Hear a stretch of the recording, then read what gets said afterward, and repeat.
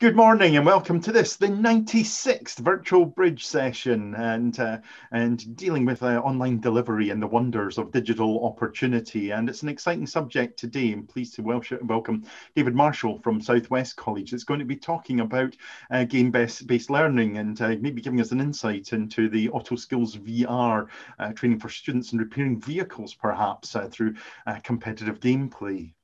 Over to you, David. How's it going, folks? Um, I'm David. I work in Southwest College, um, which is it's a large college, three different campuses based in the southwest of Northern Ireland. Um, I work within a department called um, the Centre of Digital Excellence. So it is what we sort of specialize in is because we have distributed campuses, is that my department would sort of bring a lot of stuff online. Um, so naturally, we are we're basically the college now. so we are. Um, during COVID, we we we've been flat out. So we have, um, and I I'm sort of responsible for game based learning and in general sort of external projects and stuff that's sort of um, new and exciting stuff. Um, so I do a bit of machine learning. I do um, games. I sort of specialize in a lot of different things, um, but it's mainly games. I sort of come from a game development background. Um, I did before I came here. I was doing a PhD and um, brain controlled computer games, so real future stuff. Um, and it was it was pretty interesting, um, but it's a bit away in my opinion. so it is.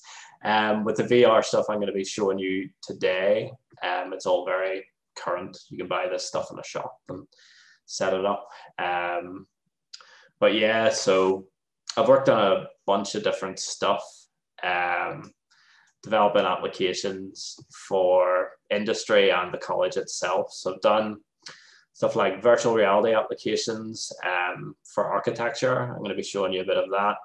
Um, virtual reality training simulations for beginner mechanics. So that's sort of the project that I've been working on for the last year um, called Auto Skills VR. I'm going to show you a video of that.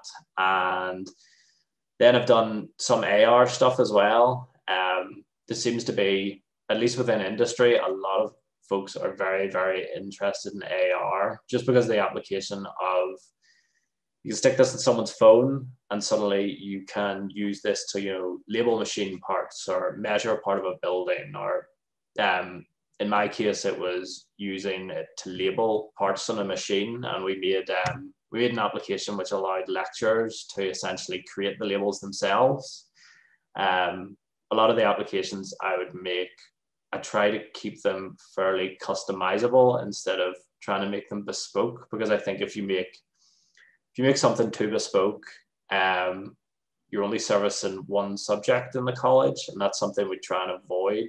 Um, so like the labeler could be used for cars engines, it could be used for, um, you know, even stuff like setting a table, you know, this is where you put this stuff. We used it for computer parts um, when we were testing it because I'm not bringing a car into the office. Um, so lots of different stuff like that. Um, so I have a little presentation here. Uh, it's sort of, it's a sales pitch on game-based learning um, because I think I think for a lot of lecturers, they look at it and they think that's silly stuff. Why, why are we doing that? You know, we're here. Um, and this is sort of my sales pitch to a lecturer who's skeptical. Um, I'm just going to share my screen here. Alright, screen one. So just full screen this. Alrighty, so this might not be the best screen to show a skeptical lecturer.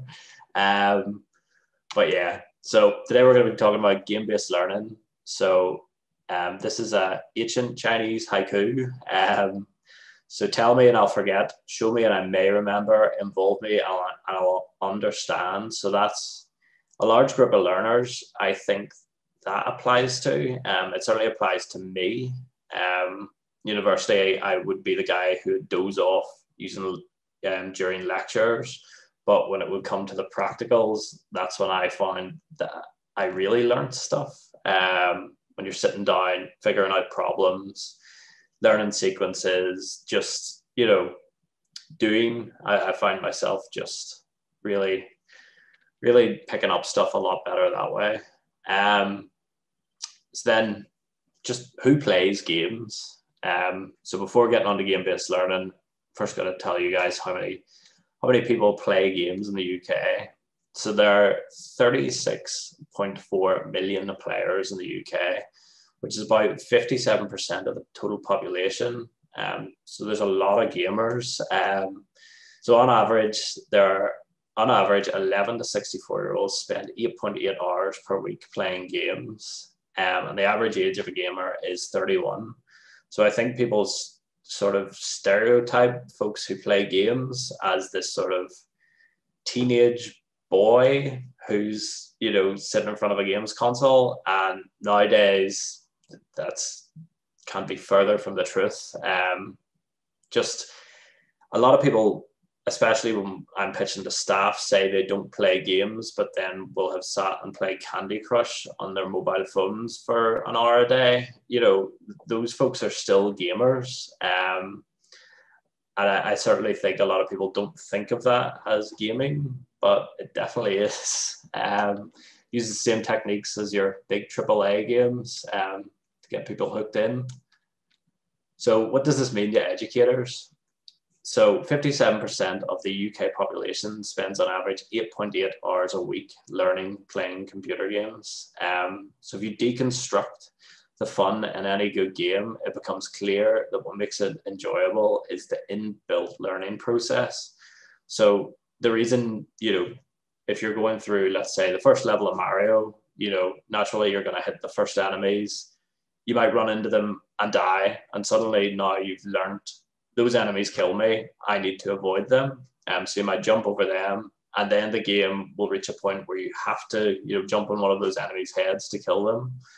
Um, you might die to it, then you might jump on its head. Suddenly you've learned that within the game, if you jump on the enemy's head, you kill them. Um, so stuff like that is just like basic inbuilt learning processes within games, um, which have always been there. And they're one of the main reasons I think people enjoy games. You learn something and then you overcome a problem.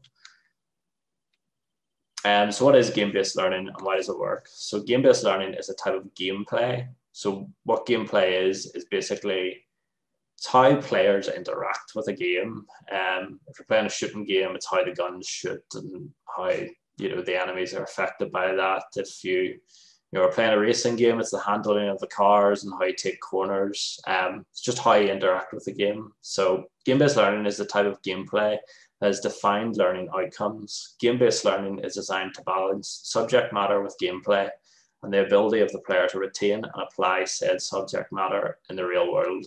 So in other words, in, in my opinion, um, I think there was a lot of early game-based learning games, which were sort of you play a game and you'd solve a math puzzle at the end of that game's level or something like that, or you'd solve a math puzzle during the game. I think, uh, in my opinion, and you can see it in a lot of modern game-based learning games, um, the math puzzle is the game. Um, that's what you should be doing throughout the game, not as this side thing that you do. It should definitely be, you know, that, core gameplay loop should be solving those problems. Um, so what is game-based learning and why does it work? So players make mistakes in a risk-free setting and through experimentation, they actively learn and practice the right way to do things. So players learn by failing. So a good example in our mechanic game is you could raise a car up above your head. You could just take the exhaust off and it could fall on your head and that could be you you know you're dead in real life. Um, or you could you know take a bolt off in the car the engine oil spills out everywhere you've created a massive mess you know.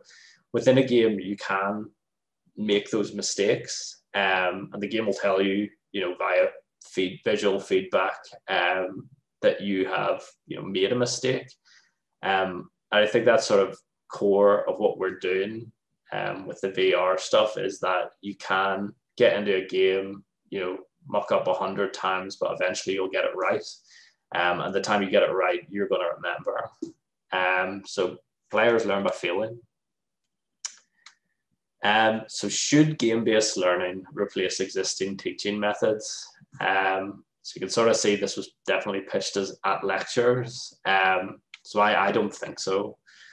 Uh, I think there's always a space in a classroom for traditional teaching methods. Uh, I certainly think like there's games out there now which will teach you how to play. You know, like Rocksmith will teach you how to play guitar, um, and it's a large, you know, big big game backed by a big company called Ubisoft. Um, and I, I think it'll get you so far, but I certainly think sitting down with the teacher and having him, you know, show you actual technique on the guitar is still something that's needed. Um, I've seen folks who've played that game and they hold the guitar in a weird way and play in a strange way. So you can't really teach that sort of stuff through a game. Um, a good example in the mechanic game is we can't we can't simulate the weight of the tools. Um, there's stuff that you just can't that can't be brought into that virtual world um, yet, I suppose.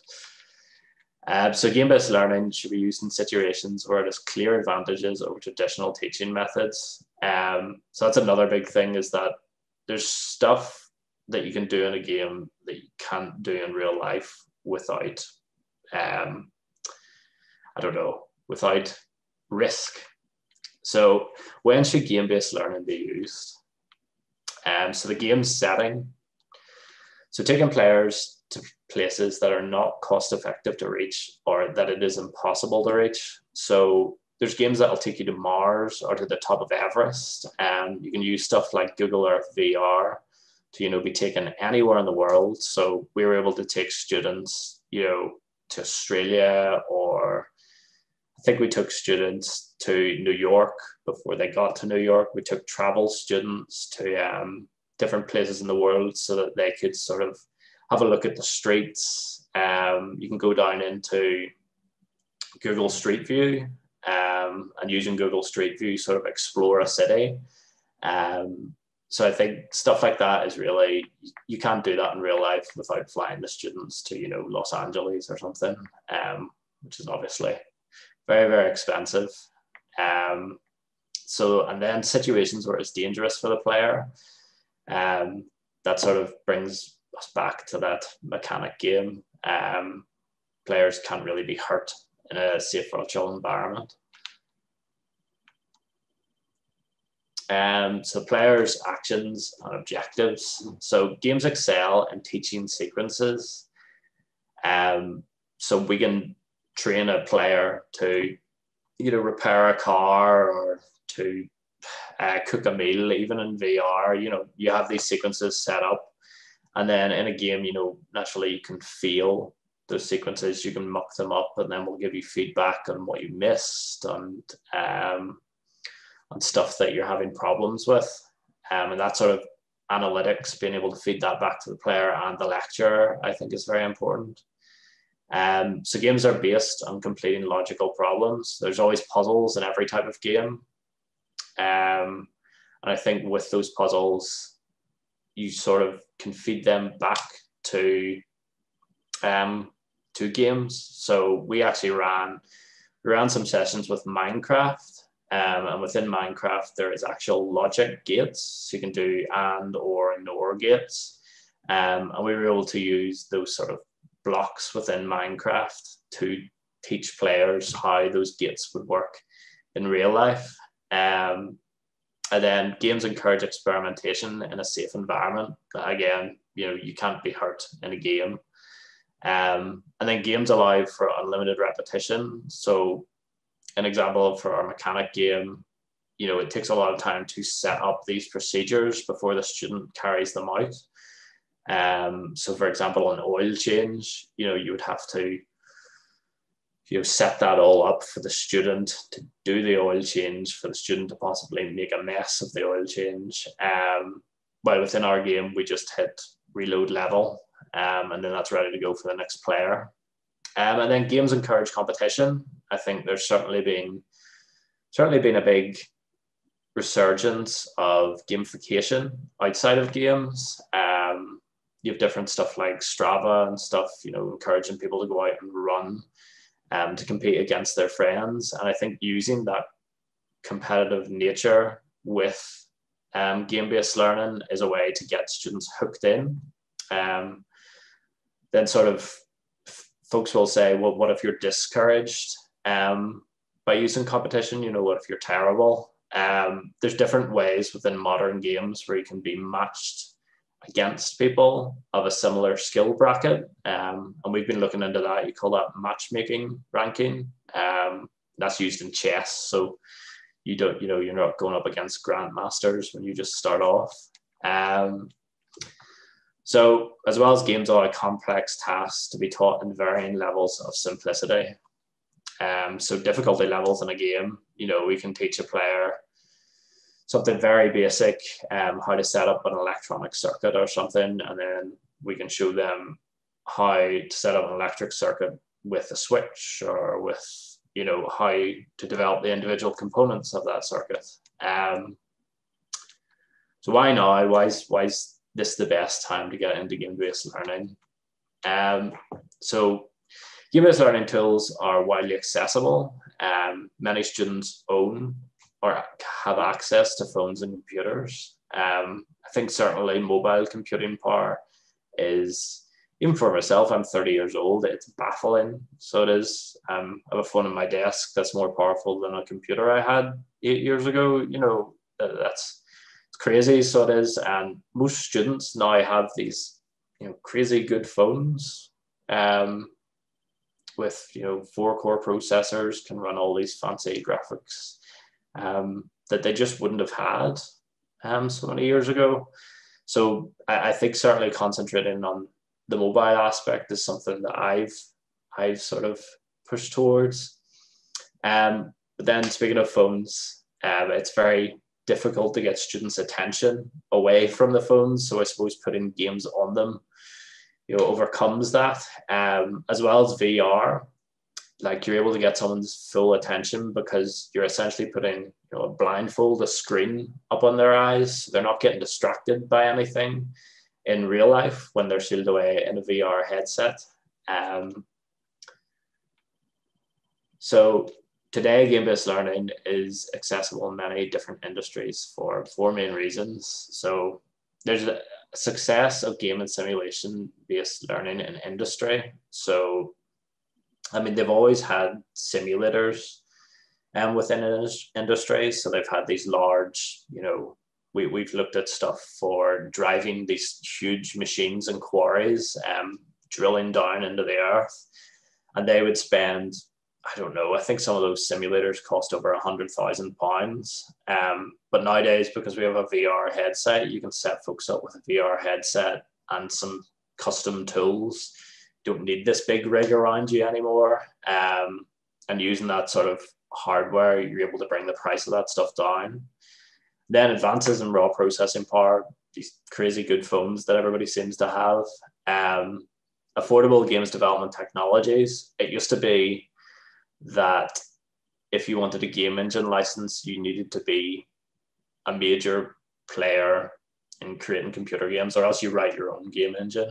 Um, so nowadays, there's Unity, there's Unreal, there's lots of these free game engines out there, which for creators like me who have very, very small teams, it's sort of caused this great growth in independent games development. Um, because suddenly I can make something that is comparable to something that a massive studio's making. And then finally, games analytic insights.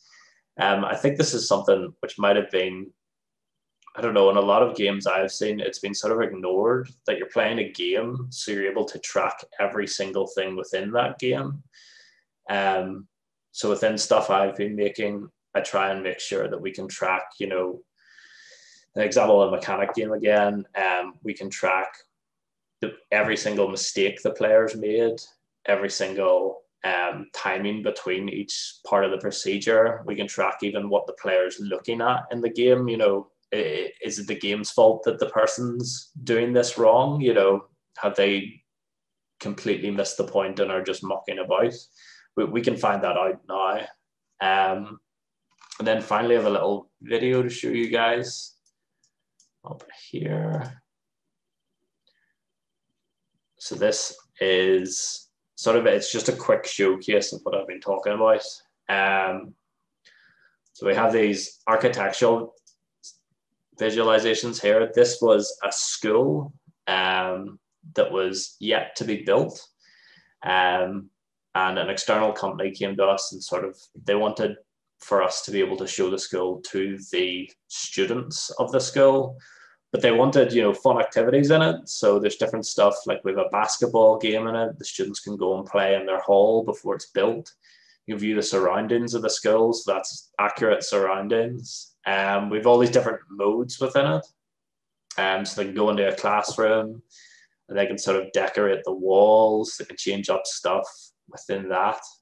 So this was made um, by just me and a designer. So that sort of shows you that you can get these experiences with, you know, relatively small team. Um, then you can see a model of the school, pick it up, have a look around it. Um, there is these, you can do this um, built in to the architectural software, but one of the main reasons the company wanted this sort of bespoke experience is stuff like this. You know, you can see through the walls, you can see the different components of the parts. Um, so this here was a learning management system game. Um, so this here is just a wee game to teach people how to get through their first interview. So it's a little mobile game that run in browsers, run on your mobile. Um, I didn't put myself in the game. Um, that's actually lifted from my profile on the learning management system. So again, this is all tracked um, and sort of fed, all that data is fed back, you know, all my answers, all my scores in the background um, is all fed back. So this is our AR labeling application. Um, so we use just a simple QR code one here. I think with a lot of phones, you need, you know, a certain standard of phone to um, not use a QR code. Um, so we're just using a simple QR code to label stuff. So again, that's a computer there. We can label all the different parts. If we open up one of those parts, then you can see videos. Um, it's all on a tablet. It'll work on old phones. It'll work on new phones. As long as it has a camera, it's good to go. Um, so I think that's sort of a good example of this sort of customizable nature of some of the stuff we're doing. Um, so I we stuck to a computer. That's what we know. Um, and then this is our VR mechanic game. We've got this big garage here, our car. We've got leaderboards, um, guided tasks up on the wall. So you can do a lot of different stuff in this. Um, so it's raising up the car. You can sort of inspect parts. So having a look at the wheels. We've got these um, use the instructions to sort of fix the problems. Then one of the main things with this game is we wanted that to have physical tools. We just didn't want the player to like click on something and for, for it to happen. So as the player's doing that, they're hearing noise, they're feeling in the controllers, they can vibrate. They're you know trying to simulate the resistance of using an actual tool. Um, as well as we wanted that pop-up wall. We didn't want a menu. You know, I think for a lot of mechanics, they use their hands. So trying to keep the stuff as physical um, as possible was very important to us. Um, so you replace the parts. This is just replacing some brake discs, putting them back in, putting the wheel on. Um, and then this is all on scoreboards. So it is, you're able to compete with the folks in your class.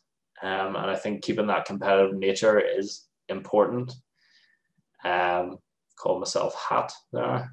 Um, so up on the scoreboard, and then you can see all the different times for all the different tasks. Now, those analytics go a good bit deeper than that um, into what the player is looking at and all these different bits. But yeah, that's what I've been at in Southwest College. I'll just stop sharing here, folks. There we go. Alrighty. So I suppose questions now or Thank you very much, David. That was very interesting. Um, if I may jump in with a quick one, uh, obviously not all students have the same equipment, the same platform available. Um, how have you dealt with that in making, uh, as you said, the tools uh, more widely available? I think for examples like the learning management system game, that will run in a web browser on a very, very old computer, but you can sort of see that it limits our graphics. You know, we can't really push for this big, shiny AAA game that some people will come to expect. Um, but I think you sort of got to aim low. So you do. Um, with the mechanic game, the way we got around that was the reason we actually have leaderboards in there is because the game's built so that you have a go, then you pass it to your friend, then he has a go, and you're competing via your times in a, a sort of you go by go way. You know, you pick it up at the end of a lesson, have a go. Um, I don't think we're expecting students to have VR headsets because it's all it's all far too expensive at the moment. So it is. Um, and then just pushing for mobile stuff too. You'd be surprised like the students, the phones the students have, you know, always baffles me. They have better equipment than me. so they do. Thank you. I was very lucky. I got my VR headset, quite a basic one, but comfortable for six pounds in the closing down sale at Maplin at uh, Belfast, Inter- Belfast, International Airport. But uh, that's not an ongoing supply, unfortunately. uh, would anyone from the audience like to jump in with a question there before Kenji does?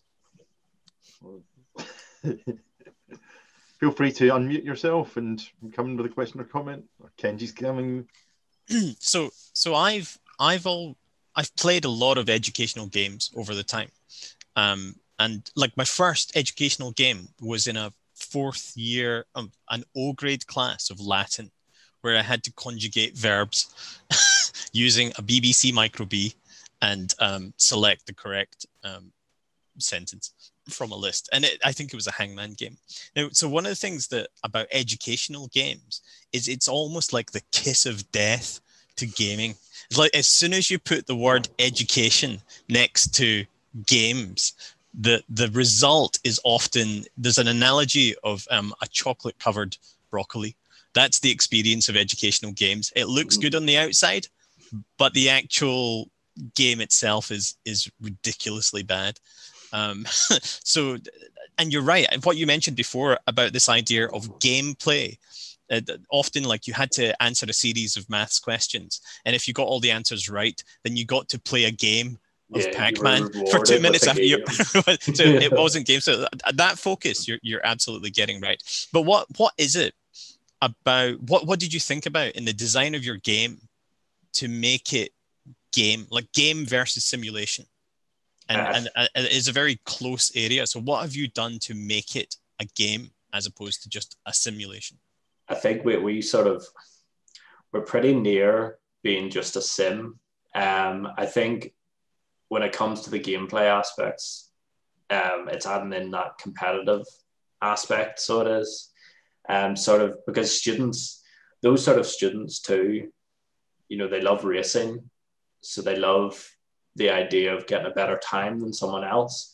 So one of the things I actually didn't mention was when you make a mistake, you get time added to your time. So it's sort of like a rally stage. You know, you, miss a bit of track, we'll add on a you know minute penalty to you. Um, so bringing those sort of like little aspects to it, which they can relate to um, and understand very quickly. I, I don't. I think like you know for that group especially bringing in you know all these gameplay sort of aspects for those folks who don't play games can be you know confusing they'll look at it as a bad thing almost. I know for us you know folks who have played games we love them but for folks who haven't you know it can be very confusing so it can for the first time. Um, so i think bringing in that competitive aspect and just focusing on you know keeping those sort of little game elements in it um, sort of keeps us away from being a full sim. Um, it's something I want to avoid, avoid to be honest. Okay. follow up on that uh, uh, about the flexibility. As you said, the competitive element is uh, sometimes a key driver, but not for everyone. And um, and I can see how in the area of uh, motor vehicle uh, uh, maintenance, then probably you've got a good number of them who are competitive and go for that, but not yeah. in all subjects. Uh, does that have to be taken into account when uh, considering gaming as an approach to education? I certainly think so. Um, sort of one of the things that was mentioned earlier is that matchmaking ranking. Um, you don't want to discourage people, so you don't. Um, they use that in games as well. The skill-based matchmaking, you call it. Um, so you want to match players of a similar skill with other players of a similar skill. Um, you know, if I sit down with, I think Call of Duty's the big one at the moment, um, and I'm up against these incredible players who've been playing for years and years and years, you know, and I sit down and I'm terrible at it, I'm not going to play that anymore. And I think that's the same approach you have to take with game based learning games. Um, you want to put people up against folks who are of a similar level. Um, and even, you know, if they find themselves achieving really well in the game, you know, then suddenly you're seeing them jump steps maybe in educational level as well, um, which I think is interesting, you know, giving folks an opportunity or maybe level one on a course to compete against level threes and see how they do. Um, yeah. No, very interesting. I've got time for one more question, the recorded part. And Walter, if I could ask you to come in there. Yes, David, uh, I'm interested in the in the staff development that's required in order to implement. I mean, is it the case that a college would look to its learning technologists to do it for them? And in, in that case, how do they get trained? Um, I think with most games, well, with the VR stuff, I think the hardest bit is nearly the setup. So it is. So for the most part, with the VR games, like it'll take you through a series of steps to get there.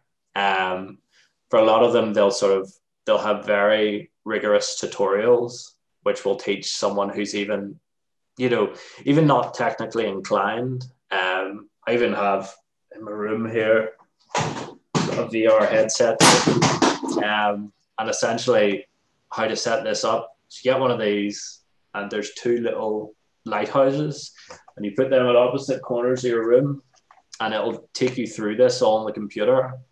Um, and it's pretty it's pretty self-explanatory to be honest. We, we've had lectures. I had a lecturer who was probably not particularly computer literate, had come from, I think she was on the biology side of things. And I talked her through it for five minutes. And then she said to me on the phone, Oh, wait, this is a tutorial. And she just flew through it. Um, so it's one of those things that I, I think folks initially get a bit, Oh no, this is new. Um, but within a game, you know, the tutorial's there, it's all there waiting for folks. Um, I think maybe initially getting a digital learning technologist in to show you the basics is good, but from that point onwards, the game, if it's a good game, will tell you how to do it. Very good. I'm going to have to wrap up the recording in a second, but um, just uh, it would be good to know um, what are your plans, very briefly, for dissemination and making this available to the educational community outside South West College. Um, I think for the VR game, um, Auto Skills VR. We're going to plan and get it up on Steam early next year.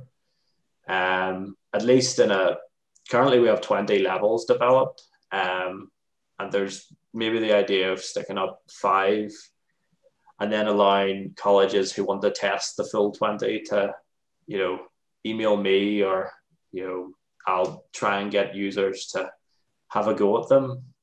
Um, but it's just getting this stuff out there. I find difficult as an engineer, so do. Um, but it's yeah, it's a tough process. So it is. Well, David, I think you've um, sold it pretty well as uh, being a, a very important, valuable part of the ongoing strategy towards engaging students. Uh, so thank you very much for that insight into game-based learning. I'll now draw the recorded part of this session to a close. Thank you very much for joining us.